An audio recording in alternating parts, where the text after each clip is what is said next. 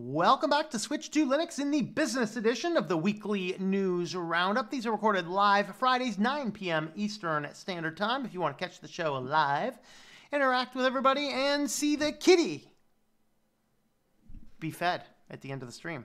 He's like, dude, what are you doing? Anyway, uh, before we get started, I'll remind you that you can uh, head on over to shop.switchlinux.com if you want to pick up some Switched to Linux merch. We have fun things like the No Preserve Root, um, September 18 Code of Conduct on a variety of things t shirts, bags, coffee cups, all sorts of things. We also have cats and tinfoil hats on coffee mugs.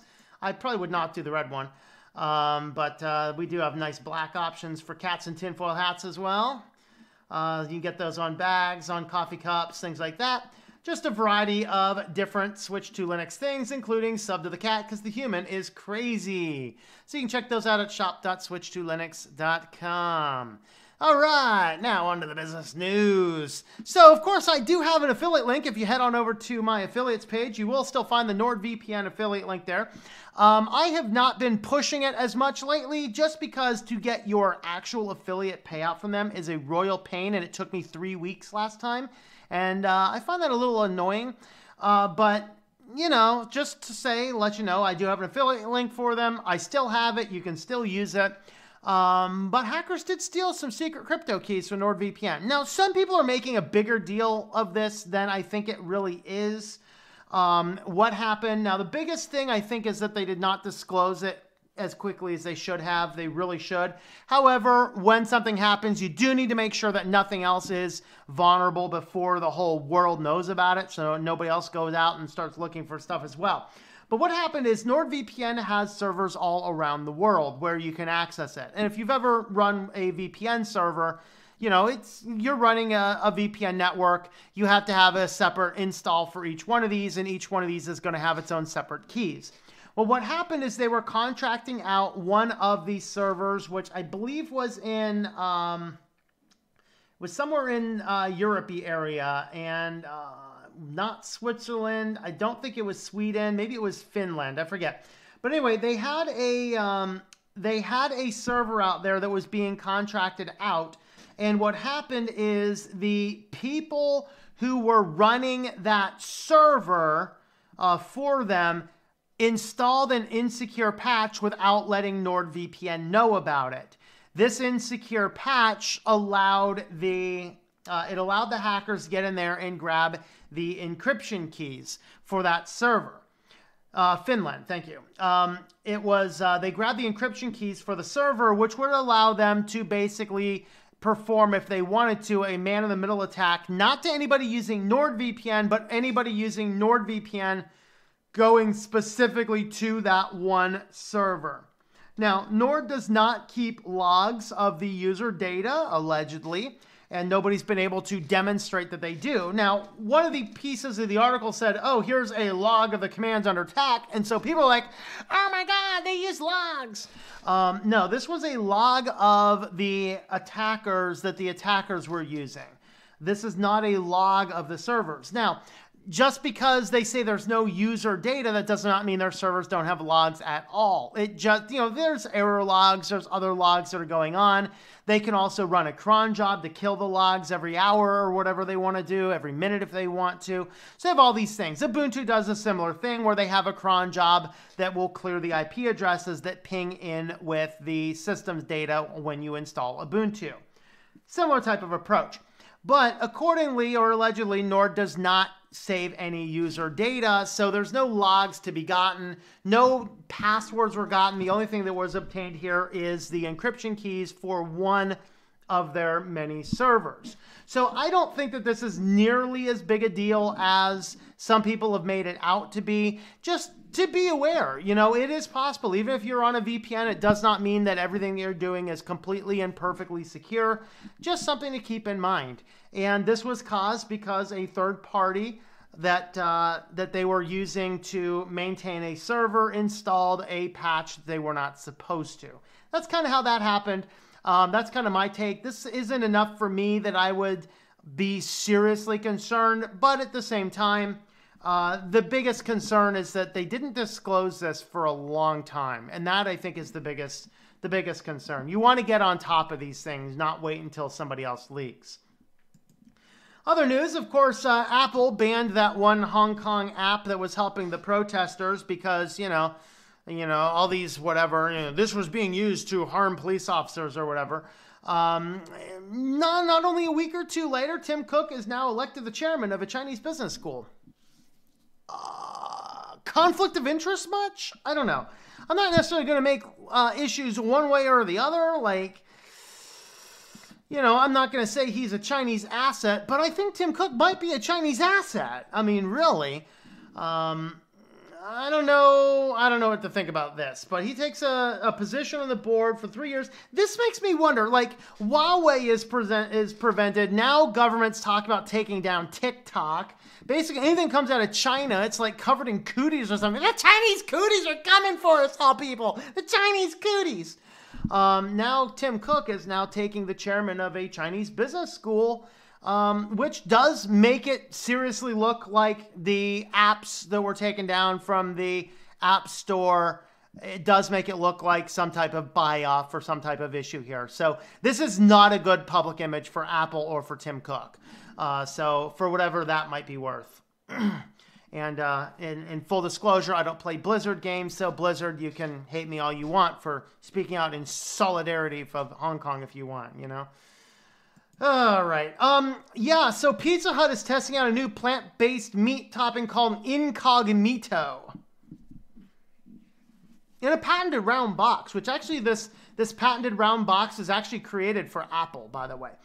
Um, with their little round building and stuff.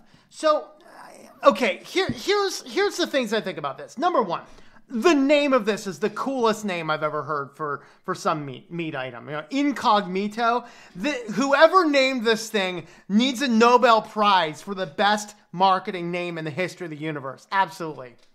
Am I a customer? No. If you want to do away with meat, if you want to tell us stop eating your cows, you want to say go vegan, go vegan, stop imitating my meat. For the love, people, stop imitating my meat. Oh my lord. Guys, I was in the grocery store the other day. I'm looking at the bouillon cubes, like, you know, chicken broth and beef broth. All this, you know what I found? Vegan chicken broth.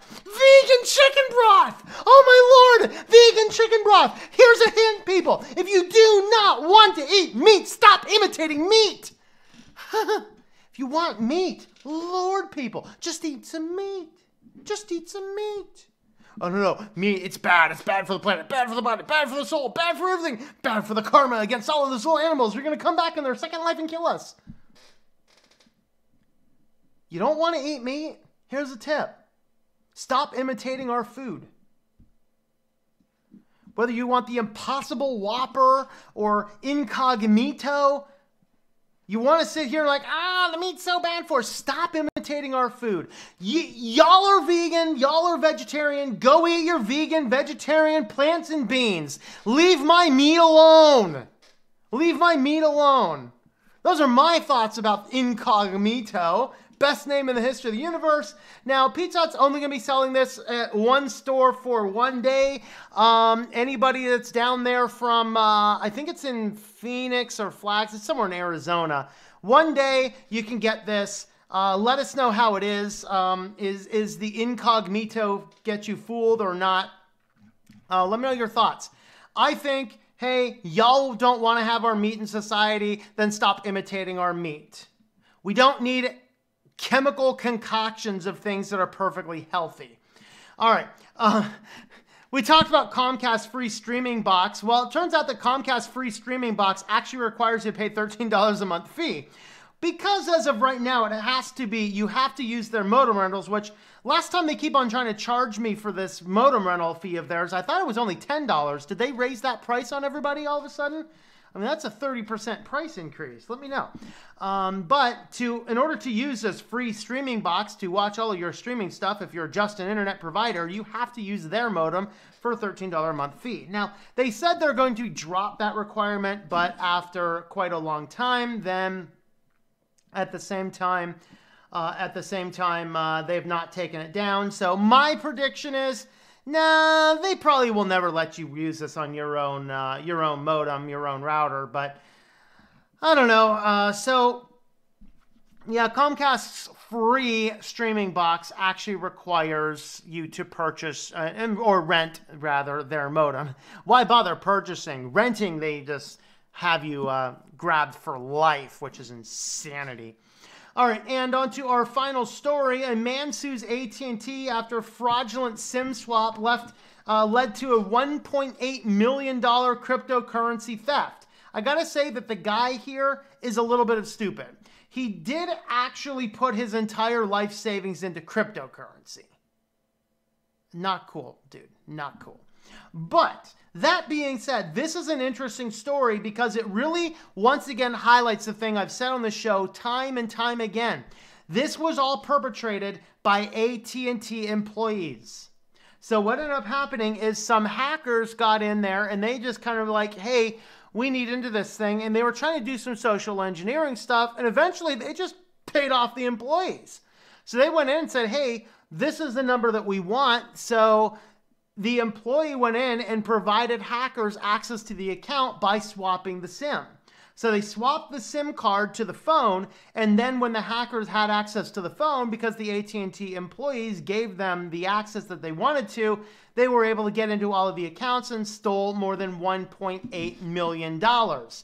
Now, the man who had his money stolen from him is going back and you know, the hackers, you're probably not going to be able to sue them, but he was apparently able to demonstrate that it was AT&T employees were paid off in order to help this heist go. So, you know what? Y'all are all co-conspirators. I can't can't figure out who the hackers are, so I'm just going for the AT&T company.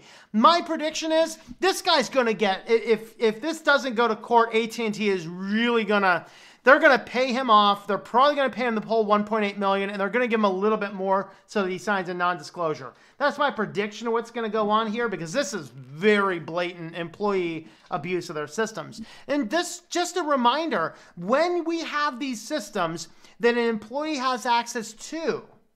Okay, when we have these systems, the employees have access to. Okay, what can end up happening here is that the employees could access all of these things and we don't even think about that. We're too busy thinking about is the security good? Are the hackers good? But somebody at that company has access to that information outside of the very rare case that everything is encrypted on your device and then sent to them in encrypted form. So those are kind of the thoughts here. Let me know your thoughts in the comments down below.